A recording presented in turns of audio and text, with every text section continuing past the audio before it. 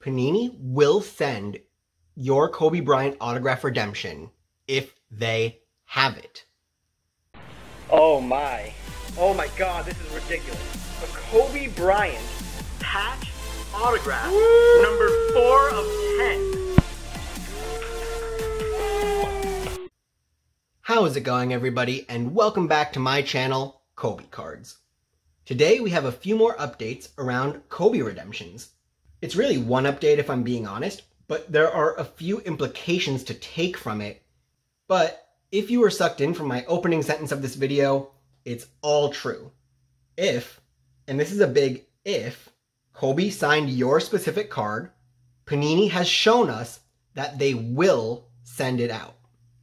I mentioned this in my last video, and I said specifically that if your card was signed by Kobe, especially if on card, there is really nothing they can do besides send it to you, especially from a legal perspective. They can't knowingly not fulfill something that they are fully capable of fulfilling. At that point, they can't resell it or use it for any other purposes because imagine if Panini told you that they can't fulfill your redemption, but then a year later you see it on their website and they held it back to make profit for themselves. So that wouldn't happen. Therefore, as I made the pretty logical blanket statement that if they have it, they'll send it, we had some major breaking news this past week.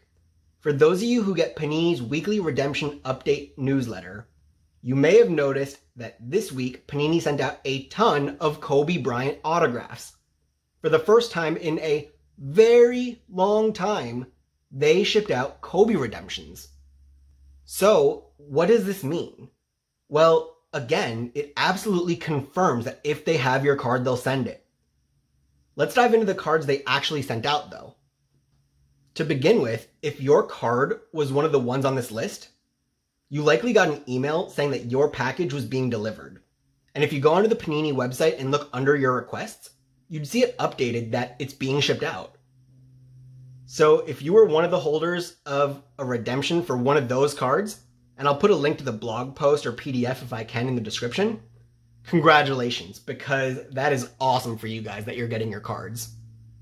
There are two questions, however, that I'm sure you're dying to know the answer to. One, were these cards hand signed or were they sticker autographs? But most importantly, for sure, two, are these the autographs from Kobe's final signing? The answer to number one is that they seem to all be on card which is awesome. You'd expect them to be on card for most of these because these are mostly sets that had on card autographs to begin with. For example, they finally, after nearly three years, sent out the redemptions for the purple and blue Chronicles autographs from 2017-18 Chronicles. And right here, I'll show you that I have the pink Chronicles, and this one I have had for three years. So the one that I have numbered to 25, I've had for a very, very long time. They were all redemptions in this set for Kobe, as you can see from the Panini sticker still at the top, but for some weird reason, he signed the different variations at completely different times. Maybe his signing got cut short or something like that, but he signed the pinks years before he got around to the blues and purples, for example. So they sent out autos, they're on card, cool beans. That's all well and good, you all could probably have done some eBay searches and figured that out for yourself. However, time for the biggest question of the entire video. Were these the final autographs from his final signing session that they were talking about?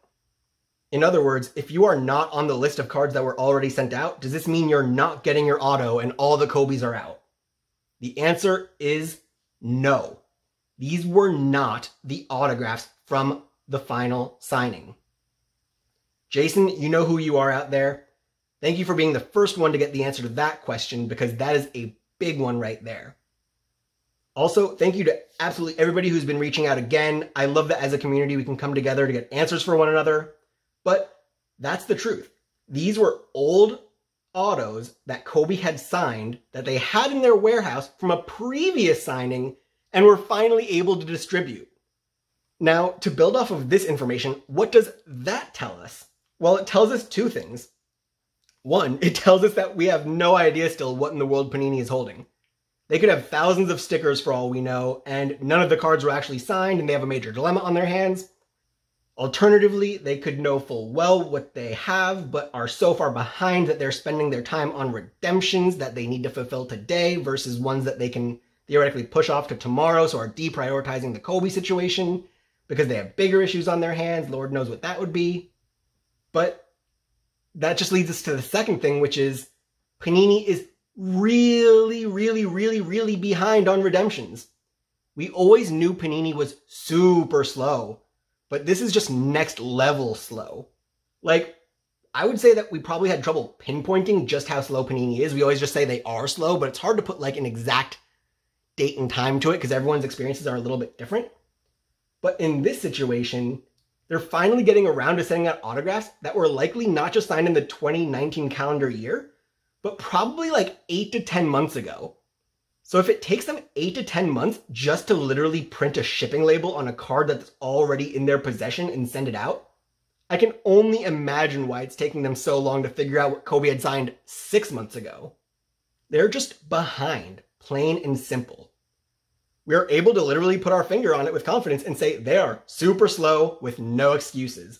Because if he had signed these cards in October of last year, for example, that they just sent out last week, there was no global issues going on at that time.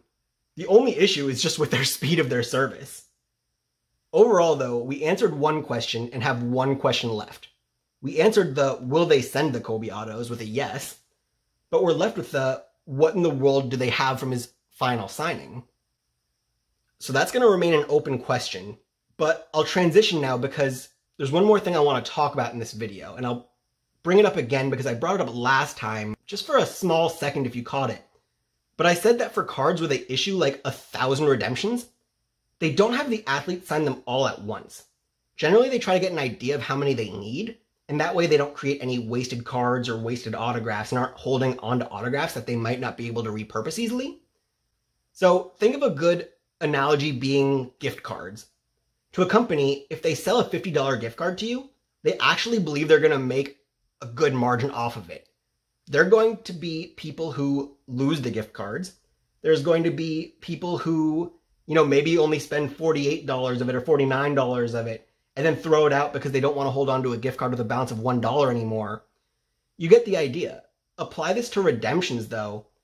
Companies know that if they place a thousand redemptions in boxes, not all a thousand are going to be redeemed. There's going to be a percentage of the redemptions that will sit in boxes that people hold on to because they believe the boxes themselves will appreciate if unopened. So those redemptions will expire. There's going to be companies that just merely don't sell every single box that they have in time, again, leading to expired codes. Companies could use the packs as products and part of their repacks for later years. Again, more things will expire. There could even be people, again, who simply forget to redeem them or don't want to deal with Panini and can't be bothered. I don't really know how to imagine that scenario, but you never know.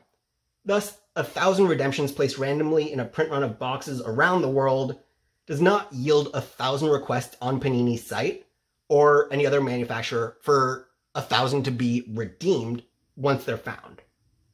If it's anything like the gift card business, it could be as much as 25% or more of all redemptions will never be found or redeemed in time.